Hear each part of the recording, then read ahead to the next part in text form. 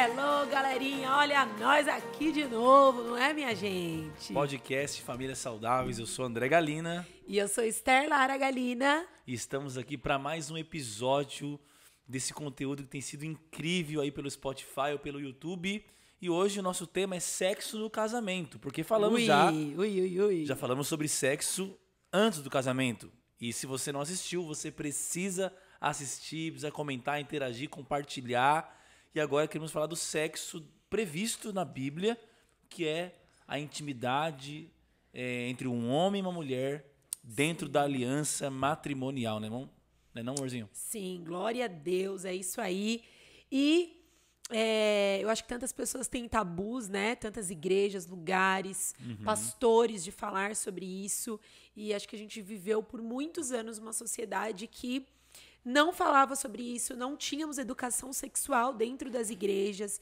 Isso é um desejo muito forte do meu coração que os nossos jovens, que as nossas crianças, claro que dentro daquilo que deve ser falado para uma criança e um adolescente, precisa entender sobre isso, né? Porque Exatamente. eu fui criada dentro da igreja, diferente do André que se converteu aos 16 anos. E por muitas vezes eu ouvi que sexo era pecado, né? E isso é uma mentira. Sexo não é pecado, né? Sexo é algo feito por Deus, planejado por Deus. E quantas moças, eu atendo algumas moças no processo terapêutico que hoje possuem muita dificuldade na vida sexual, porque uhum. também foram criadas dentro da igreja e se colocou um tabu para falar sobre isso, como se o sexo fosse algo ruim, como se o sexo fosse algo é, é, que não foi planejado por Deus, né? Mas como é lindo a gente pensar, né, amor, que Deus ele é, quando ele criou o sexo, ele pensou em algo para nos dar prazer, né? Para nos dar desfrute. Isso é muito lindo, né? É, isso, isso é, muito incrível, porque maravilhoso. Deus nos cria com toda essa capacidade biológica de desfrutar de prazer e dar prazer. Sim. Uma capacidade hormonal, biológica, física, emocional. É, o sexo é muito abrangente, né? A vida sexual. Sim. E Deus é, também usou esse meio prazeroso para multiplicar a nossa espécie.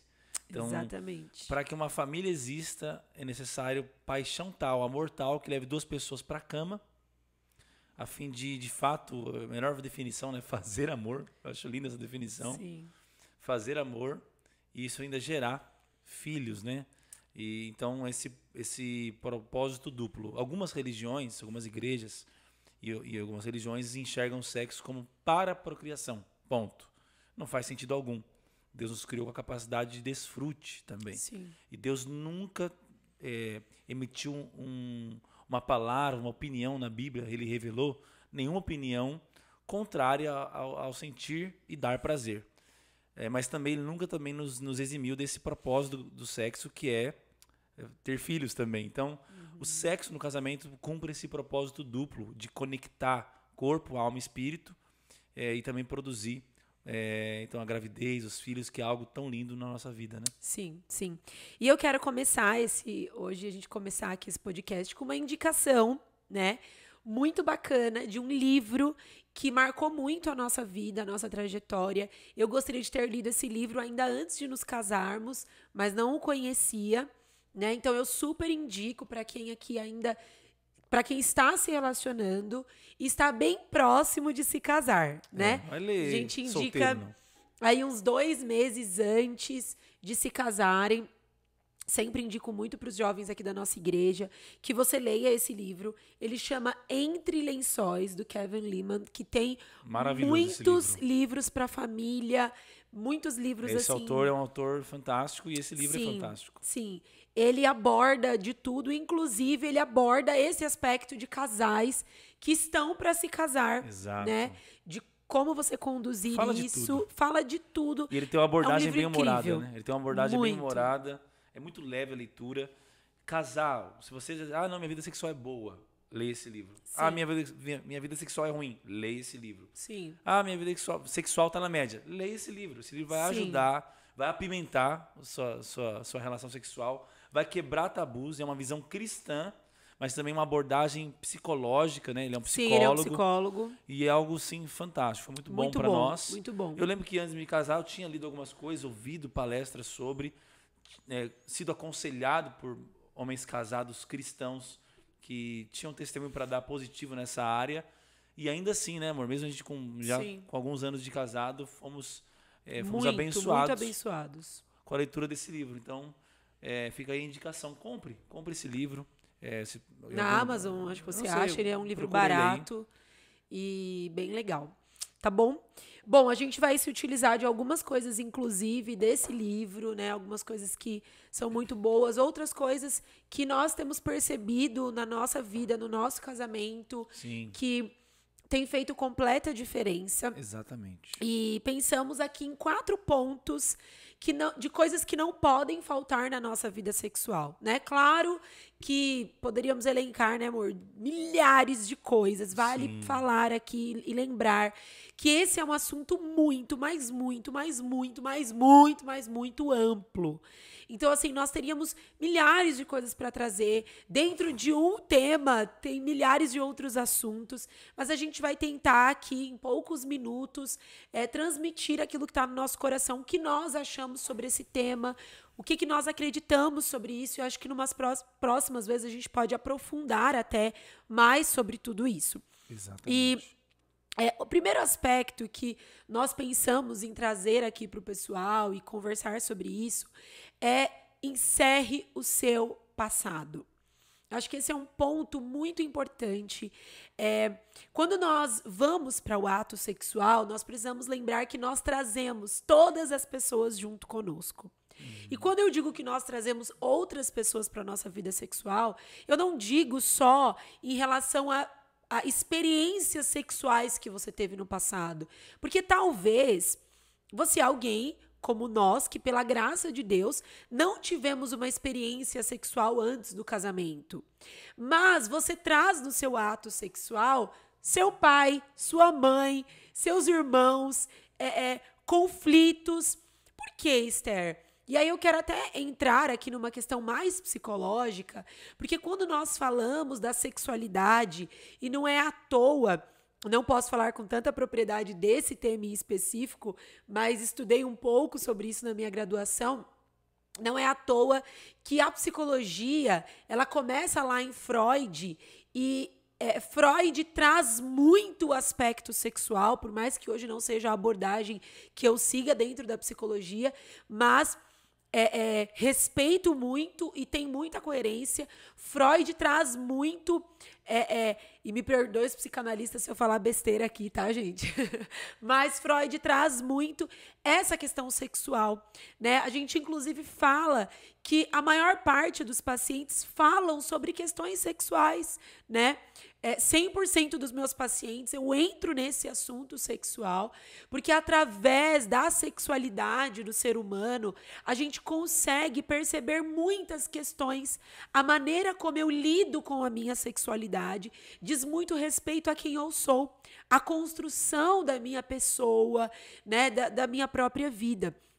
Então, quando eu digo sobre encerrar um passado e sobre uma vida sexual que tem outras pessoas, é porque talvez é, a minha mãe disse uma forma a respeito do sexo, ou a minha mãe era uma mulher que tinha depravações sexuais, que tinha experiência com vários homens, e eu vi isso a vida inteira, eu ouvi falar sobre isso, isso vai interferir a minha vida sexual. Ou meu pai foi um homem é, muito perverso sexualmente, eu ouvi a minha vida inteira a minha mãe dizendo que o meu pai sempre usou dela, que a minha mãe nunca teve prazer sexual. Enfim, a minha história vai vir para minha vida sexual. Aquilo que eu vivi na minha história. Se você foi alguém que teve uma experiência sexual ou experiências sexuais antes do casamento, aí mais ainda, né? Aí a gente fala de lembranças, de memórias do passado, a gente fala de muitas coisas que vêm, até depois eu quero falar mais ainda sobre isso, como que a gente combate esses pensamentos, uhum. até psicologicamente falando, de ex-parceiros, de questões sexuais passadas. Mas a verdade é que eu preciso encerrar o meu passado. Se você ainda é solteiro, que bom, que você pode fazer isso antes de se casar. E se você já é casado, a gente precisa resolver isso. A gente precisa resolver esse passado, né? Essas e outra coisa também que a gente fala muito sobre essa questão sexual, quais são as suas primeiras lembranças sobre essa questão sexual? Eu sempre questiono muito isso com os meus pacientes. Isso faz parte de um processo meu de anamnese. Quais são as primeiras experiências que você tem né? Então, assim, quando fala em sexo e, vo e, e, você vai lá na sua infância, o que, que você lembra? Contatos é, é, por, com a pornografia? O que que, o que que pega? O que que você se lembra desse passado?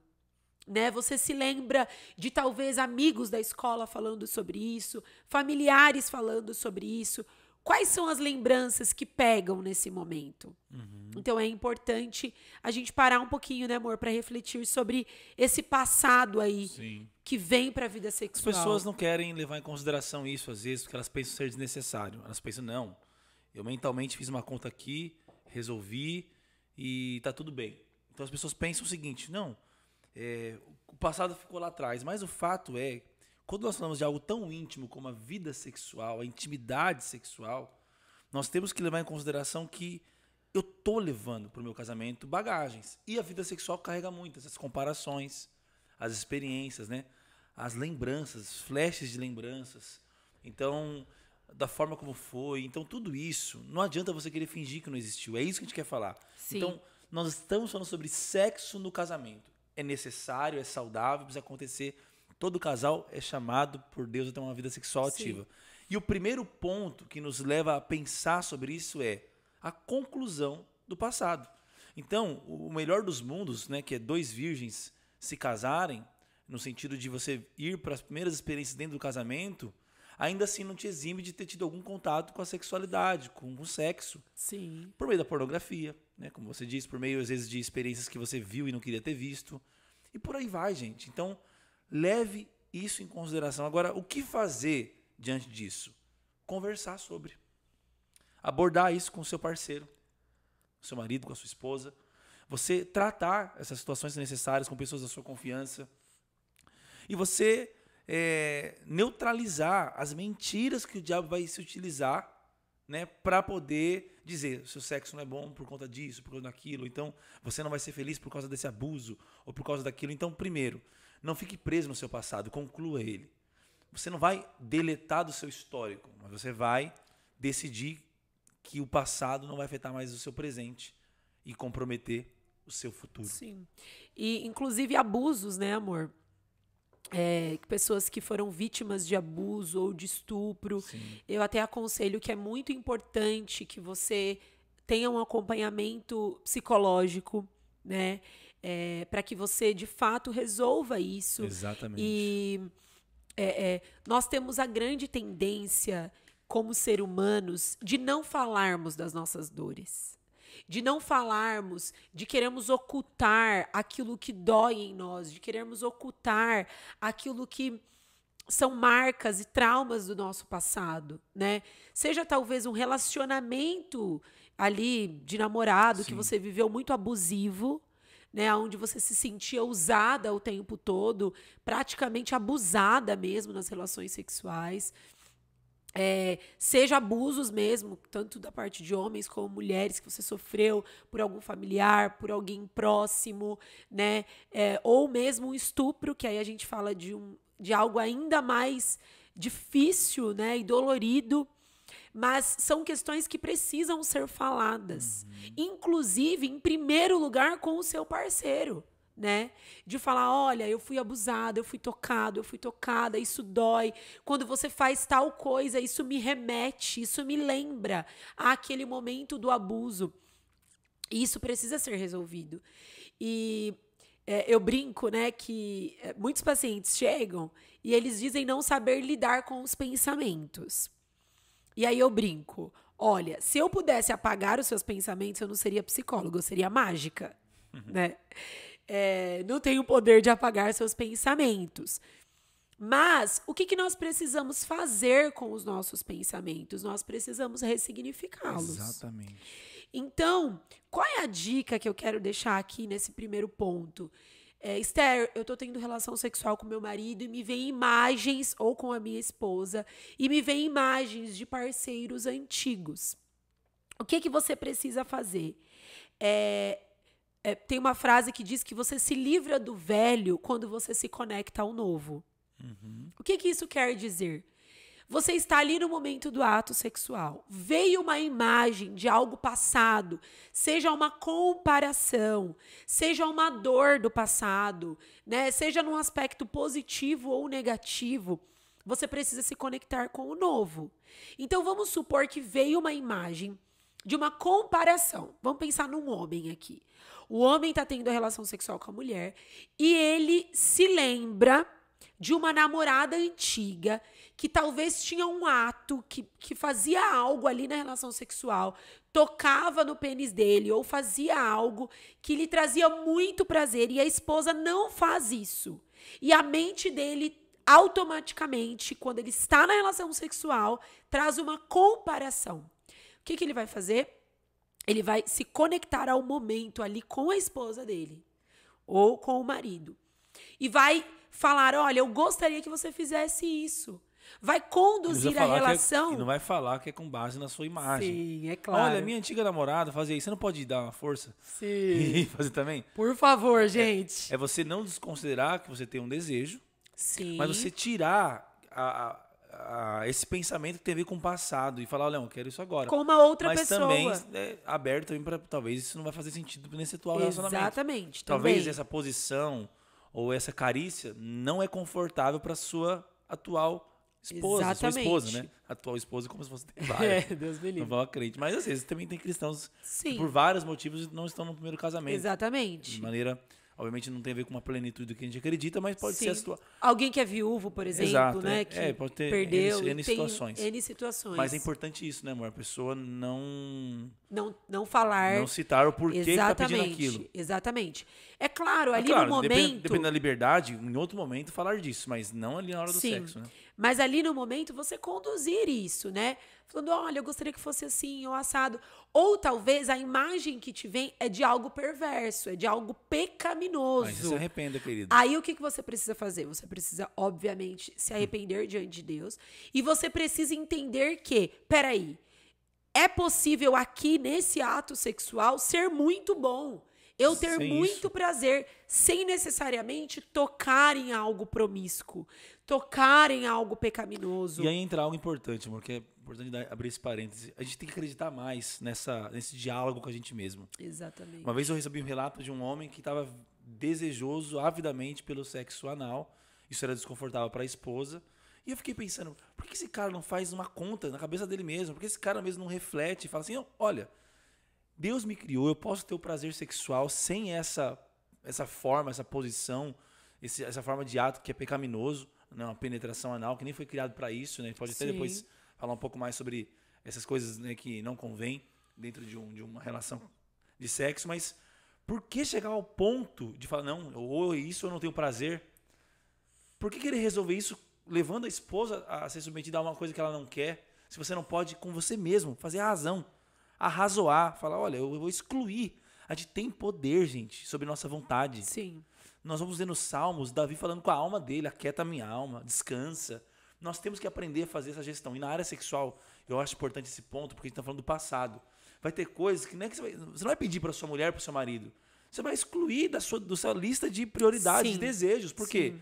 Porque Que é não o per- pecaminoso. ou porque não é o perfil do seu marido ou da sua esposa. E algumas outras vai conversar, vai explicar. Quanto mais liberdade, melhor. Mas você sabe até onde pode ir nesse nível rasgado do seu passado Sim. ou não. Sim. Mas o ideal, o saudável, é que não tenha reservas. A gente possa vir Sim. de maneira realista para um casamento, para ter uma vida sexual plena, eu tenho que ser transparente. Sim. E procurar ajuda, né, amor? Se você precisa resolver o seu passado Isso. e você não tem conseguido resolver esse Exatamente. passado, por exemplo, você viveu um abuso, que é Uhum. algo que é tão difícil, que é tão dolorido, ou você é, é, é, tem você é casada e tem vindo muitos flashes na sua memória de relacionamentos antigos, de homens, ou nem relacionamentos, mas, por exemplo, filmes que você assistiu, conteúdos pornográficos, você precisa buscar ajuda. Se você sente que o seu cônjuge não tem maturidade uhum. para te ajudar nisso, para te auxiliar, procure um pastor, uma Exatamente. pastora, um psicólogo, Sim. de preferência alguém que conheça a palavra, que tenha temor pela palavra, que entenda os princípios daquilo que nós cremos. Exatamente. Né? E eu acho que dentro disso, a gente já pode entrar num segundo aspecto. Deixa eu só, deixa eu só tá. concluir essa etapa, porque eu acho algo importante. Não utilize de um misticismo nessa área. Então, alguns, para não enfrentar esse passado que você falou que tem que ser concluído, é, lança mão da seguinte crença utópica. Se tudo se fez novo na minha vida, agora eu voltei a ser virgem. É. Então eu vou lidar como se eu nunca tivesse tido um sexo. Não tem essa promessa na Bíblia. Não há relatos disso. E isso não é o fim do mundo. Você não é virgem. Você transou antes do casamento. É... Encare. Encare. Agora, tudo se fez novo na ótica de Deus. É como se você nunca tivesse pecado. Uhum. Mas fisiologicamente, emocionalmente, as marcas estão aí. Não, não, não, não, finge demência, não mete o louco, desculpa o termo. Então, assim, e, e qual o problema? Se um homem de Deus deixar de casar com uma mulher só porque ela não é mais virgem, que homem de Deus é esse também? A gente, nós já contamos, a nossa experiência foi essa. Por uma série de fatores que a graça de Deus nos proporcionou e a gente correspondeu. Ok, mas é possível ter uma vida péssima sexual tendo dois virgens se casados. E é possível ter uma vida maravilhosa sexual Sim, tendo os dois tido várias experiências. A questão é como você vai lidar. Mas é isso. Não fuja de ter que lidar com o seu passado a fim de encerrá-lo e entrar num casamento então de maneira plena, transparente, para fazer essa vida sexual dar certo, com sabedoria, com conversas, com qualidade, às vezes com ajuda médica, seja o que for necessário. Sim, Agora a gente pode muito bom, muito passar para um próximo Eu ponto. acho que isso entra num próximo ponto dentro daquilo que a gente quer Sim. falar, que o segundo é, então primeiro, encerre seu passado. Segundo, o sexo contempla espírito, alma e corpo. E corpo, né?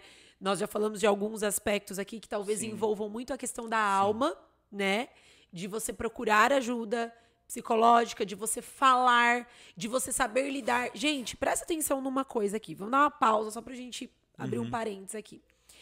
Pensamentos, nós chamamos na psicologia os nossos pensamentos de pensamentos automáticos. Isto é, você não escolhe pensar em alguma coisa. Exatamente. Não tem como. Os pensamentos, eles vão vir de maneira automática. Sem que você perceba, você já está pensando em alguma coisa. Exatamente. Como que eu resolvo isso? Indo nas minhas crenças. Qual é a minha base de crenças? Uhum. Eu carrego crenças a respeito da vida sexual. Então, se eu creio, por exemplo, que sexo é pecado, muitas moças se casam e têm vaginismo. Trava. Trava.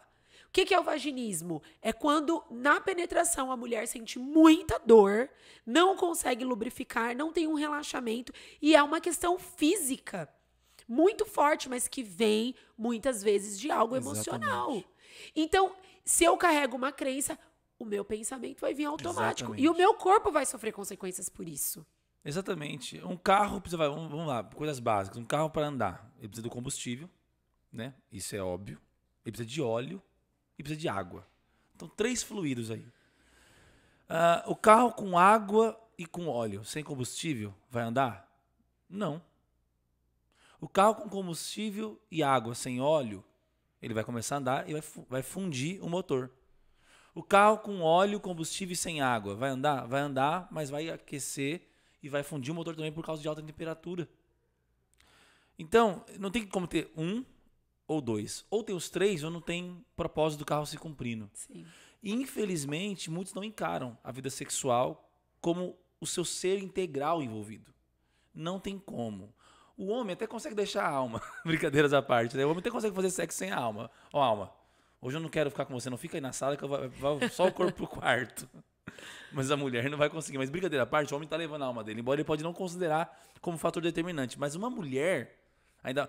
Sabia que para a mulher o sexo ele é mais complexo do que para o homem? Isso é um fato. Porque é mais profundo ainda a questão corpo, alma e espírito. Muito mais. Não que o homem É, Para o homem, a questão do corpo é mais é, determinante na sua vida sexual. Tanto é que muitos homens com, começam a ter problemas sexuais na esfera física do corpo. Ou seja, eles começam a ter problemas de disfunções e tal. Isso tem origens emocionais, mas aí ele trava, porque ele não quer ir a um urologista, ele não quer ir a um especialista, ele não quer abrir esse problema físico e aí ele tem uma vida sexual arrebentada. Mas muitas mulheres, mesmo com fisiologicamente tudo ok, por conta de questões emocionais, é, vão travar, não vai ter vida sexual ativa, saudável. Como então entender isso? Entendendo que você é corpo, alma e espírito, essas coisas estão entrelaçadas. Qualquer problema emocional afeta o físico. E os, os, problemas físicos também podem afetar o emocional, porque o cara fica desanimado, depressivo, porque é, o pênis dele não está subindo, ou então está tendo ejaculação precoce. E às vezes a origem disso é fisiológica, tão somente, e às vezes ela é psicológica, emocional, vamos dizer assim. E espiritual. Assim, não cometa a loucura de achar que sexo não é espiritual. Por favor. Se tem uma área que o diabo estudou, foi sexo. Porque, assim, as perversões da carne têm muita influência sobre o aspecto sexual. Em todas as epístolas do apóstolo Paulo, as cartas do Novo Testamento, quando está falando de santificação, toca na fornicação, lascívia, urgia, vai tocar em assuntos de cunho sexual. Por quê? Porque há muitas distorções do ponto de vista espiritual. Então, Alguém que está mal espiritualmente, não está orando, não está buscando a Deus, tem uma tendência a se inclinar para a pornografia, para pensar numa terceira pessoa. A infidelidade começa a brotar na alma dele porque está mal espiritualmente. Então, gente, entenda isso. Sexo no casamento, ok. Concluiu o seu passado? Entenda. Corpo, alma e espírito. Tem ferramentas para ajudar a questão fisiológica, tem ferramentas para você ajudar a sua vida emocional e tem ferramentas para você estar bem espiritualmente. Se você não estiver bem espiritualmente, bem fisicamente, bem emocionalmente, não terá uma vida sexual saudável. Não terá. Exatamente, exatamente. É, como é importante a gente entender isso e entender que é, às vezes a gente ouve tantas pessoas falando sobre sexo e não falam conforme aquilo que Cristo criou, conforme a palavra de Deus. Eu sempre digo, gente, o sexo, e é o que você falou, para a mulher, talvez, é, existem questões tão mais complexas que envolvem ali o ato, mas eu também confesso que eu tenho ouvido muitas mulheres que se queixam do marido, né? Então eu acho que hoje as coisas estão meio que meio a meio, assim. Muitas mulheres que se queixam, por exemplo, que o marido tem disfunções sexuais, Sim. né? Diversas e não procuram ajuda. Mas eu me refiro não a esse aspecto. Esse aspecto é óbvio. Não foi isso que eu, o que, que, que nós temos que entender? Que a, Deus criou a mulher para funcionar sexualmente de outra forma. O homem vai ter sua excitação de uma, uma maneira muito mais rápida. Ele, assim, ele está pronto rapidamente. E a maioria das mulheres vão relatar isso é biológico, uma questão, o tempo né, do orgasmo, levar ao prazer. Então, em relação a isso, vamos supor, um homem, mesmo que a mulher dele tratou mal ele o dia inteiro, se ela quiser sexo, ele está pronto. Uhum. Agora, vai um homem tratar a mulher inteira, o dia inteiro mal e querer sexo à noite. É, é mais nisso que eu me refiro, uhum. entende? Sim, sim. Do quanto esse aspecto Enquanto emocional da mulher... multifatorial na mulher é mais incisivo. Sim, Mas também sim. existe no homem, entendeu? Sim, também. É que eu tô dizendo assim, que Agora, em relação esses... às disfunções, existe, é pau a pau. Existe esse, essa questão é, é, na mulher, é claro. Uhum. E existem também questões no homem que muitas vezes o homem não se coloca à disposição Exatamente. de serem tratadas. Questões emocionais, Exatamente. como, por exemplo, abusos. Quantas mulheres a gente uhum. ouve falando que foram abusadas e que falam esconde. disso e resolvem isso? E o homem esconde. Exatamente. Mas eu acho né? que o homem, é, de todas as áreas, ele, ele tem uma tendência a se calar crônica. Sim. E isso, homens, por favor, isso está acabando com a vida de vocês. Ministerial, profissional e familiar o homem ele herdou a omissão e o silêncio de Adão. Né? Tem até um livro, O Silêncio de Adão. Então eu gosto muito, estudei esse livro três vezes. Uhum. Fala para os homens da nossa igreja sobre isso, nos meus discipulados individuais. A omissão, e aí você está comprometendo a sua vida, a sua família. Então você fica pensando, ele, e o homem, como que, qual que é o escudo, a máscara para o homem se calar? Deixa para amanhã, vou procrastinar. Não, se não der certo, depois eu, eu procuro ajuda. E aí, é o seu relato muitas mulheres é, se queixando né? de homens que não têm, não estão não, não suprindo elas, não estão sendo sinceros. E aí, ele, porque ele não quer tratar e falar, ele tá onde? Tá na pornografia. Alguns estão onde? Lá no prostíbulo. Aí entra uma questão espiritual tão pesada, É. de uma casa que fica descoberta, Exatamente. né, de filhos que são afetados por isso, de tantas coisas que entram nessa relação. Exatamente. Né? E eu acho que enquanto mulheres, nós precisamos, é o que você falou, quanto isso afeta a mulher, o quanto ela precisa se resolver em todas essas áreas. Exatamente. Né? E eu acho que se resolver entendendo que o sexo é bom pra mim. Né? Por mais que eu não me sinta pronta como homem, como você Mas disse. é, em relação ao se tempo sente. só, né? E a Exatamente. forma como estimula, né? A mulher vai precisar de mais tempo. Né? A mulher vai necessitar ali, vai demandar mais tempo para chegar a esse clímax, para chegar a esse orgasmo. Inclusive, se você está aqui nos ouvindo e você é uma mulher que não tem orgasmos, você precisa procurar ajuda. Exatamente. Isso não é normal. Deus tem algo lindo pra você dentro do casamento. Sim. Não é só ver seu marido é, tendo orgasmo. É você se satisfazendo. Sem dúvidas. Deus que criou isso. Deus que criou e Deus tem isso pra mulher e é possível viver uma vida sexual com muitos orgasmos. Uhum. Inclusive, Deus deu à mulher, a nós, desculpem, homens, né? É um privilégio de termos orgasmos múltiplos. O Todo que que homem é tem inveja isso? disso. Todo homem tem inveja disso. O homem, ele chega ao clímax ali sexual uma única vez. Nós, mulheres, podemos ter várias vezes orgasmos múltiplos Numa mesma relação sexual. numa mesma relação. O homem tem que iniciar uma segunda relação sexual, né? Tem que ser Exatamente. ressuscitado. Tem que ser Re- ressuscitado. Quase ressuscitado. É um processo muito mais difícil para o homem. Então, olha como é, a sociedade, talvez a igreja, por muito tempo a religiosidade, distorceu o quanto isso pode ser prazeroso para a mulher, né? Mas nós precisamos cuidar da nossa espiritualidade. Exatamente. Eu creio que uma mulher cheia dos frutos do espírito, cheia de Deus, ela também pode desfrutar muito mais de uma vida sexual completa.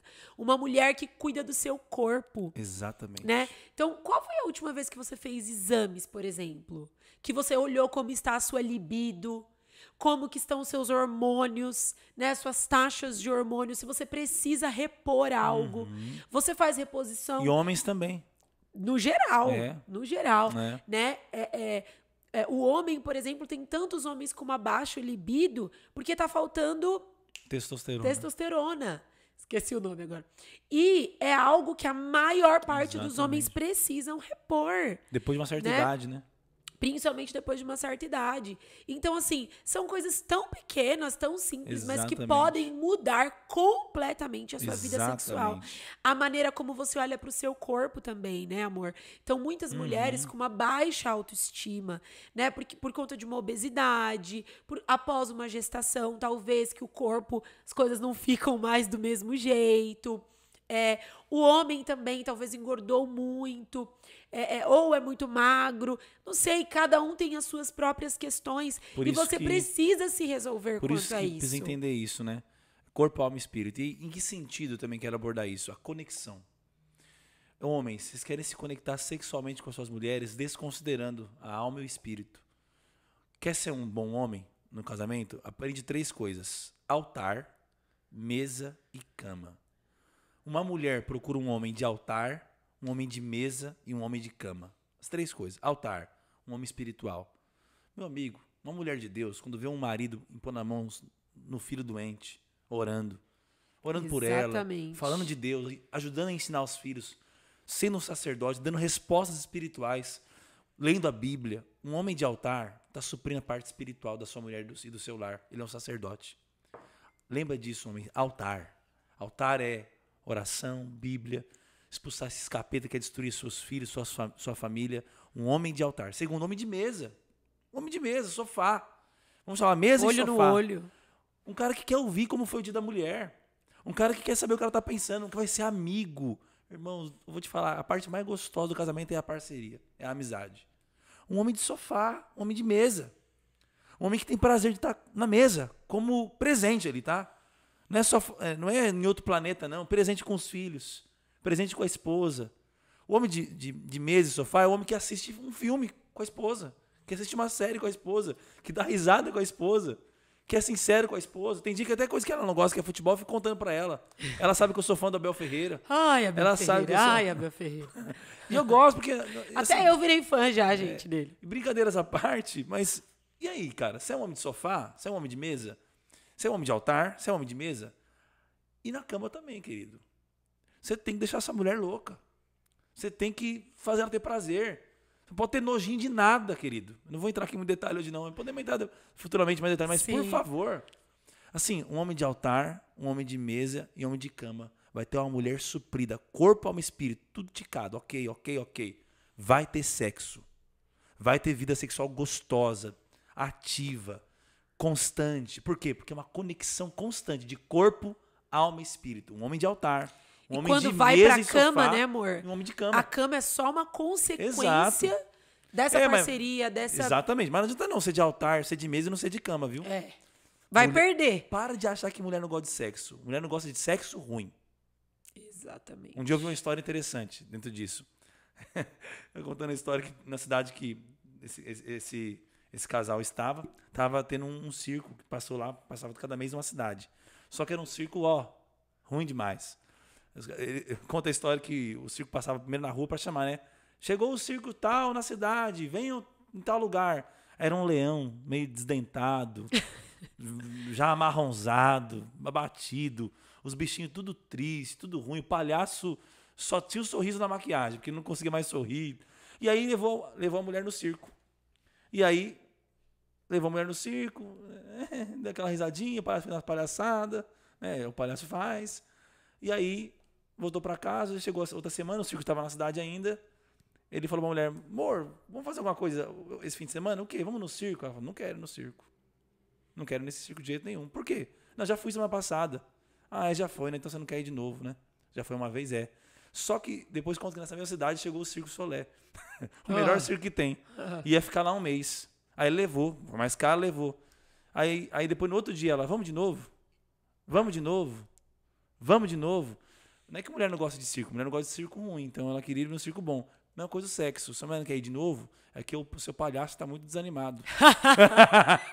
é que o leão, o leão tá, o leão, o leão não tá rugindo aí não. É. Mulher gosta de sexo, sexo bom.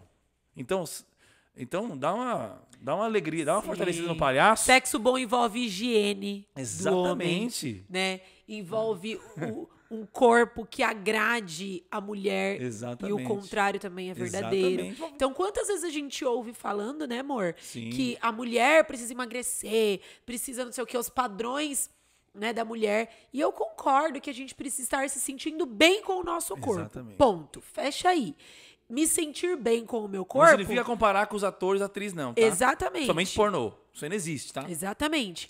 Mas cada um vai se sentir bem de uma forma. É se né? cuidar, né? Se cuidando, Olha, se sentindo bem, Mulher não feliz. suporta ver homem que não dá o mínimo pra si mesmo, que não se cuida. E o contrário também é verdadeiro. Verdadeiro. Os homens não estão nem aí, muitas vezes, né? Sim. Tá lá com a barriga enorme, não se importa. A esposa fala que gostaria É que isso. emagrecesse, não quer emagrecer, não se cuida, se não cuidar. faz o exercício físico, não tem disposição física, vive Exatamente. cansado, vive. É, é, não toma um banho direito, né? Não é limpo, não é higiênico. Gente, isso faz muita diferença. Tudo faz diferença, né? gente. Tudo faz muita diferença. Então, isso contempla todas as áreas, Exatamente. né? Vamos passar, né? Vamos Próximo lá. ponto. E o terceiro ponto que a gente quer trazer é que nós precisamos entender que sexo é uma necessidade. E opa, não só do homem. Dos dois. É uma necessidade da mulher não também. dá pra ter casamento sem sexo. Não dá. O sexo, ele é um- uma espécie de termômetro. Ele vai, ele, ele, é- ele vai denunciar como está esse casamento.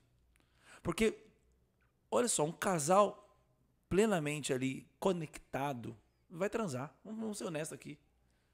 Vai transar. Fomos criados para isso. Tem hormônios à disposição disso. né? Uma vez que nós entendemos os, outros os dois primeiros pontos, que podem ser bloqueios para ter vida sexual constante, temos que entender uma necessidade. E necessidade não se discute, necessidade se supre. Exatamente. Conversa não enche a barriga. Entende? É, música não resolve o sono. É dormir que resolve o sono. É comer que resolve a fome. E é transar que resolve a questão sexual. É transar. Exatamente. Relação sexual, essa conexão. E quanto mais for conectado a plenitude do seu ser, corpo, alma e espírito, mais satisfeito você vai sair. Você vai terminar ali o orgasmo, aquele momento na cama de vocês. E isso vai ser gostoso. Né? Vai, no caso do homem, vai vir um sono maravilhoso sobre ele. depois da, né? Às vezes da mulher também, mas o seu corpo aliviou. E, então, assim, é uma necessidade, gente. E aí é por isso que nós vamos ter lá né, na, na, carta, na carta aos Coríntios, na Bíblia Sagrada, a questão: não prive um ao outro. O corpo da mulher pertence ao homem, o corpo do homem pertence à mulher. Não é sobre fazer sexo forçado, nem homem nem mulher. Longe disso. Jamais. Mas é sobre fazer sexo consciente. Mesmo quando talvez é, eu não estou no mesmo pique que a Esther, ou a Esther não está no mesmo pique que eu. É, pode ter uma relação sexual. Mas também, se um dos, do, do, dos parceiros está ali doido para ter relação sexual, mas percebe que o outro não está legal, não está bem, entender que, que entender essa questão da necessidade é também entender que ali não é o momento de fazer. Vai ter um outro momento. Então, quando os dois entendem, é uma necessidade. Quando os dois entendem, é bom. E podemos cada dia melhorar, vai ter vida sexual ativa.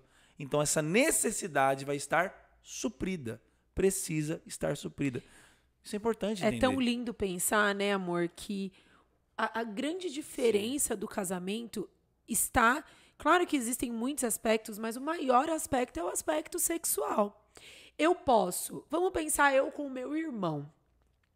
Eu posso ser muito parceira do meu irmão, né? É, eu posso, é, com os meus irmãos, desfrutar de ótimos momentos, compartilhar questões que doem, intimidades. Uma comunhão satisfatória. Uma comunhão satisfatória. Eu posso viver muitas coisas. Estou falando do meu irmão, mas posso, posso viver também com amigos, né? Com pessoas. Posso ver com muitas pessoas isso. Mas existe uma única coisa que eu posso pai, viver. O filho. Com meu pai. Vamos dizer assim, pai, filho irmão. Exatamente, no ambiente familiar. É. Mas existe algo que é a única coisa que eu posso viver apenas com o meu marido ou com a minha esposa. Em nome de Jesus. É, exatamente. Segundo a Bíblia, né, gente? É. Porque infelizmente, né, é a relação sexual. Exatamente. É o que Deus designou que seja apenas com o seu cônjuge. E eu acho que isso é tão profundo. Por isso não pode faltar o sexo. Exatamente. Isso é, é o diferencial da relação. Né? Porque é a grande diferença de um relacionamento. De qualquer outras relações, né? Tem muitas coisas que eu falo para você. Claro, nós, é, eu acho que o relacionamento ele precisa ser também tão parceria. É, é, que é existem um, coisas que eu compartilho Em amizade, com você. ele é o maior nível que tem. Exatamente. Em espiritualidade. Porém, você pode ter. Eu posso, por exemplo, meu pai, pai. Exatamente. Meu pai é um homem que me ouve, que, que a gente tem uma relação muito boa, que eu posso abrir meu coração.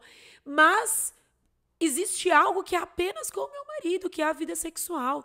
E tem um porquê também, porque o sexo, além de toda a questão que Deus nos proporciona prazer, ele também ele tem um cunho aí de também a reprodução. Exatamente. Né? É a maneira como Deus escolheu. Olha que profundo. Isso. Deus poderia trazer seres humanos para a Terra de qualquer forma, gente. Exatamente. De qualquer maneira. E eu me sinto tão impactada ao pensar nisso que, poxa, Deus poderia ter trazido o meu filho, por exemplo, né?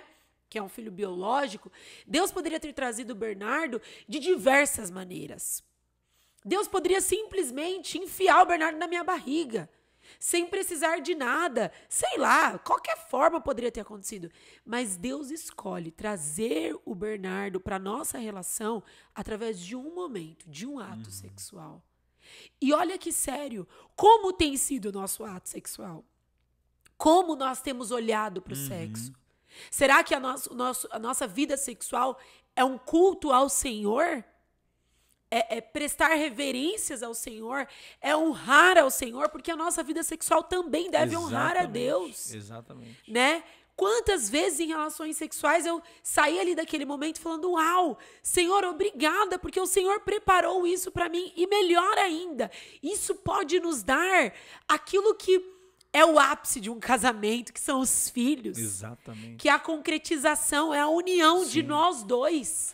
É através é isso, da vida sexual. Perfeito. E é por isso que é a única relação que Deus diz: vocês vão ser uma só carne. Exatamente. Então você não vai ser uma só carne com pai, com mãe, com filhos, tampouco com amigos.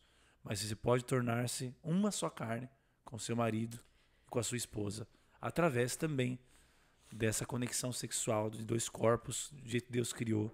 Isso é muito importante, né, amor? Muito importante. Eu quero ler, tem aqui no livro, não trouxe a Bíblia, mas eu quero ler só para é, nós meditarmos um pouquinho rapidamente sobre o que o Paulo diz aqui a Coríntios, uhum. é, que diz assim, 1 Coríntios 7, do 3 ao 5. O marido deve cumprir os seus deveres conjugais para com a sua mulher. E da mesma forma, a mulher para com o seu marido. Isto é, ninguém está fora. a mulher não tem autoridade sobre o seu próprio corpo, mas sim o marido. Feministas que gritem, mas é Bíblia, é o que a Bíblia está dizendo. Sim. Da mesma forma, o marido não tem autoridade sobre o seu próprio corpo, Exatamente. mas sim a mulher. Aleluia. E Sou os todo seu, machistas que gritem. querido. Exatamente. também. Exatamente. Não se recusem. Olha aí, ó. Uma Fica batendo na mesa aí. Fica batendo na mesa. Brincadeira. Não se recusem um ao outro. Não se recuse um ao outro. Olha que coisa linda. Por mútuo consentimento. E durante certo tempo, para se dedicarem à oração. parte, parte. A menos que seja por mútuo consentimento. É, Exceto por mútuo Exceto. consentimento. exceto, ou seja, só tem uma forma de vocês, entre aspas, se recusarem. Não é quando um nega o outro, é quando os dois se negam. No Mútuo sentido de ter um propósito. Olha, vamos ficar sem relação sexual por esse objetivo. E durante certo tempo, para se dedicarem à oração. Por Mas dá exemplo, pra dedicar pra oração e continuar com as relações sexuais. depois unam-se de novo. com- Paulo para tava solteiro, tava com inveja dos irmãos que estavam transando. Brincadeira. Depois unam-se de novo. Não pode acontecer, por Claro. exemplo, de você estar um tempo em algum lugar, em um retiro espiritual, por exemplo, distante, né? Exatamente. Distante até fisicamente. Depois unam-se de novo para que Satanás não os tente por não terem domínio próprio. Exatamente. Eu acho isso tão lindo, né, amor? Porque Não recusa-se um ao outro. exatamente. É pros dois, né? Exatamente. E, e isso nos mostra muitas coisas, né? É, aqui no livro, e eu quero só citar algumas coisas que eu achei muito forte, é, ele traz é, por que fazer o maridão feliz, ele fala, né? Coloca até maridão. Por que fazer o maridão feliz nessa área sexual? Primeiro, o marido sexualmente satisfeito, ele vai fazer qualquer coisa por você. Olha a safadeza aí, ó. Olha aí a safadeza. Olha o código aí, ó. Gente, e é verdade. Um marido que tá feliz sexualmente. E não por uma, uma chantagem, mas por um Não, prazer, né? Por um prazer. Tá suprido, né? A gente suprido, a gente Exatamente. completo, né? Exatamente. Um marido sexualmente satisfeito é um mandamento bíblico. Pra mim, só esse ponto seria o suficiente. Teme a Deus, né? Se é um mandamento bíblico, se eu sou uma mulher que temo a Deus, que sou cheia do Espírito, eu também confio que se é um mandamento bíblico, isso vai me trazer muitas, muitas boas Deus jamais consequências. nos, nos daria uma ordem ruim. Exatamente. Ele é um bom Senhor. Ele é um bom Senhor. Então, se é um mandamento bíblico, fique tranquila. Isso vai ser bom pra você. Isso vai ser prazeroso pra você também. O sexo é bom pra mulher. Gente, de onde tiraram que o sexo é só bom pro homem? É porque muitos homens não sabem fazer sexo. Exatamente. Não sabem, eh, não priorizam a mulher no, no prazer. Exatamente. Mal eles sabem que a, a satisfação, isso é comprovado, gente. Nesse livro fala muito. O homem só vai ser plenamente satisfeito vem da mulher tendo orgasmo. O orgasmo do homem, sem o orgasmo da mulher, ele é vazio em si mesmo. Porque, por, por exemplo, por que os homens nunca vão se saciar e vão querer cada vez mais pornografias e piores pornografias? Porque está dando prazer, mas não está dando prazer em ninguém. Deus não criou o sexo para ter prazer. Vai ser o último ponto, inclusive, nosso, né? Mas assim, Sim. esse é que é sobre o prazer do outro, mas a grande questão é essa, você está falando sobre é, essa questão da necessidade, né? Há uma necessidade no homem de ver, olhar, contemplar a sua mulher tendo orgasmos e outro e muitos orgasmos. E aí, isso é maravilhoso. Então, por, por muitos homens não saberem levar a mulher a esse ambiente, não priorizarem ela, fisiologicamente ele chega no prazer e aí ele não tem mais é, energia, né, para poder levar a mulher à sua plenitude. Isso é muito ruim. né? Exato, exato.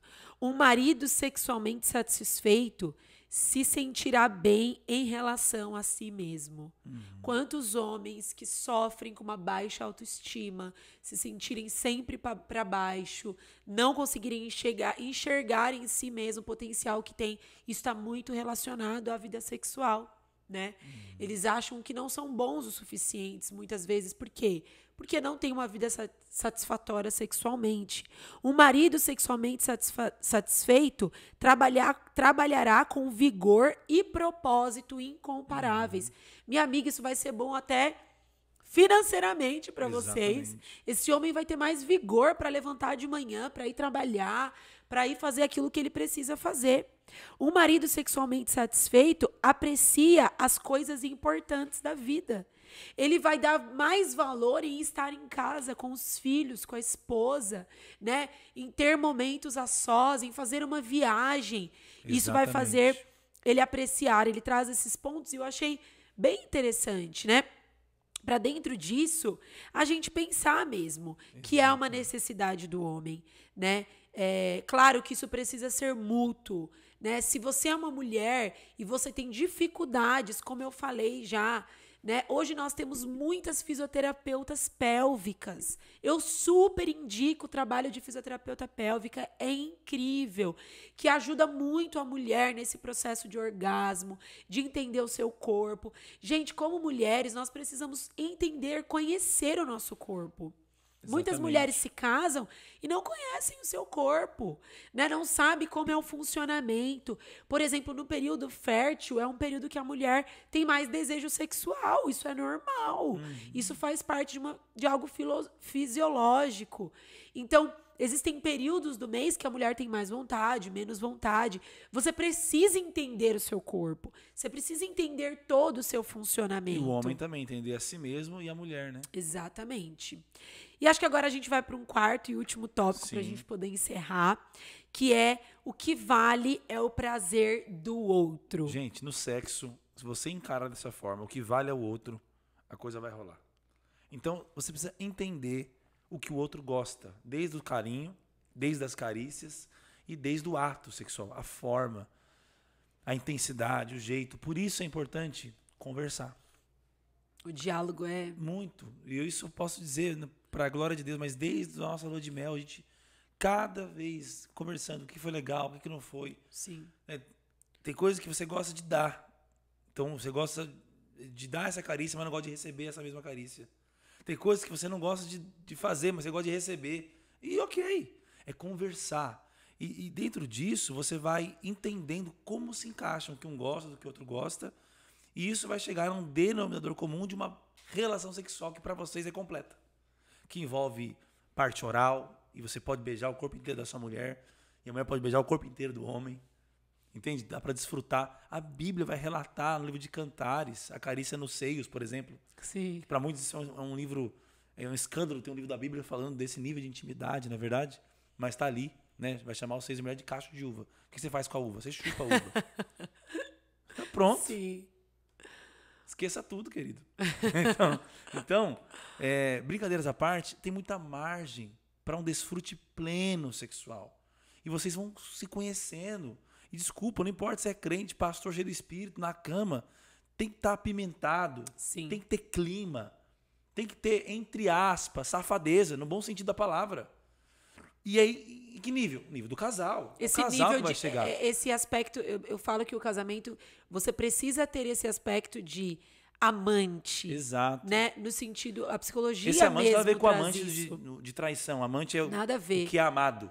Vai usar. vai Exato. a- é porque essa palavra no Brasil É muito é, distorcida. é distorcida para a terceira pessoa da Trindade. É. a terceira pessoa da, da, da relação que é, o, que é o- Sim. Então não é um bom termo aqui no Brasil. O amante, ela pensa. Sim, Não, mas eu ia é explicar de mesmo, justamente. mesmo, Exatamente. assim, é o meu namorado, é minha paixão ali. Exato, dessa entrega, né? Dessa questão é, é, que tem esse clímax, que tem essa questão da sedução. Uhum. Exatamente. A sedução não deve acabar. Né? Na, é, no- na relação. Então, você fazer coisas diferentes, pensar Uhum. em coisas diferentes, é, viagens a dois. Eu falo tanto com os casais, né? Não colocar um Exatamente. terceiro na cama, que é o filho, pelo amor de Deus. Exatamente. Criança precisa estar no quarto dela, porque a relação sexual Não é só o ato sexual. não é também. só o ato, exatamente. Essa vida de intimidade. É o deitar juntinho, é a carícia. Talvez ali não vai ter uma- alguma questão sexual, porque a mulher tá menstruada, ou porque você acabou de ter um bebê,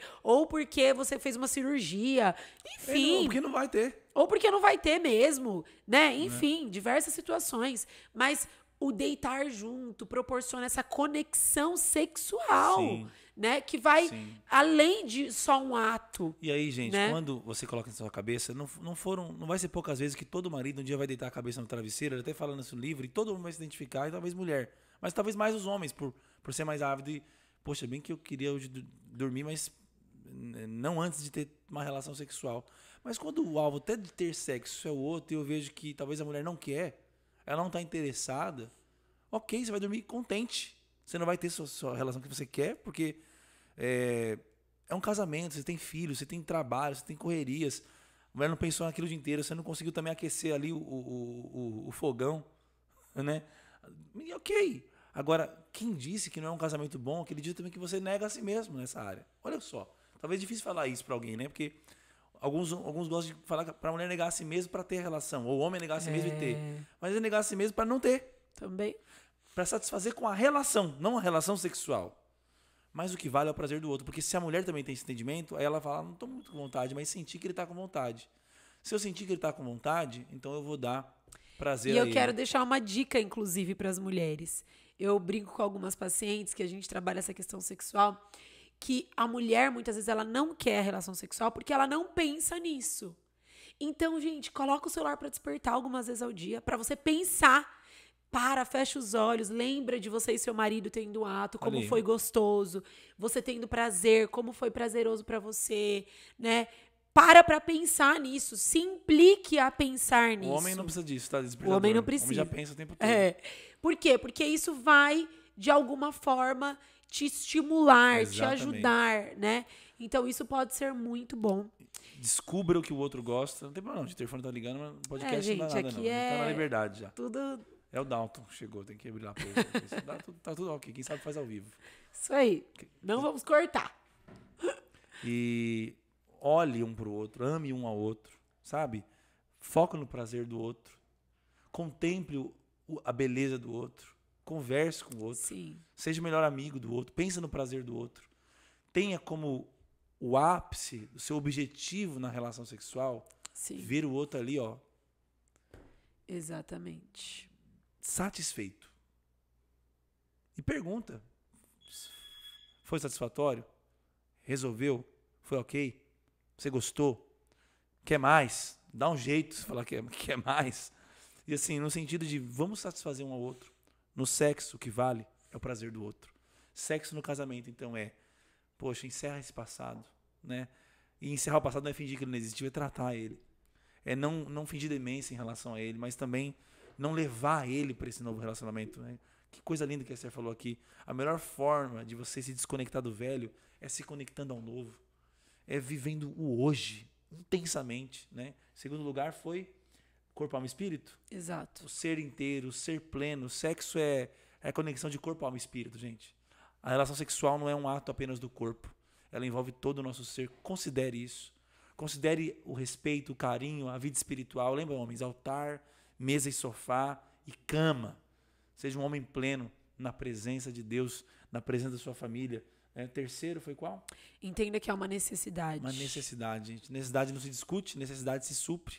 E por fim, no sexo, o que vale é o prazer do outro. Exato. Esther vai encerrar aí. E queria muito agradecer a todos vocês que nos acompanharam até aqui, pedir que você curta e compartilhe esse podcast, esse É episódio com mais pessoas, para que muitas pessoas possam ser abençoadas Amém. por essa mensagem. E nós teríamos muito mais coisas para falar aqui, para discutir aqui. Mas eu indico que você então leia o livro, que você siga sexólogas cristãs, por favor, que fazem um trabalho incrível quanto a isso. Eu vou estar indicando no meu perfil Uhum. algumas que eu sigo, que eu sou muito abençoada por elas. E Se você não nos segue nas redes sociais, o meu Instagram é esther.laragalina. O meu, André Galina A. André Galina com dois As no final.